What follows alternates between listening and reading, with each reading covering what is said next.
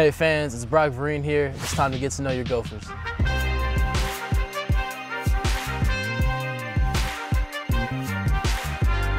The toughest part about being defensive back is keeping that confidence. You know, um, you're not going to make every play. The offense practices too. They they're going to score touchdowns, and uh, it's getting that out of your head and moving on to the next play. My favorite rivalry is Iowa. Um, I wouldn't even call it a rivalry. It's just hatred. I, will always feel that way, and uh, it's not going to change.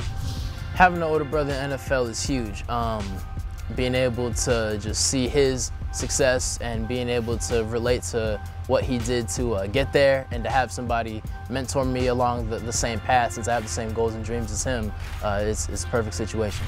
My favorite uniform combination that we have is any classic look. So maroon on maroon, white on white, uh, just, just the classic feel doesn't get better.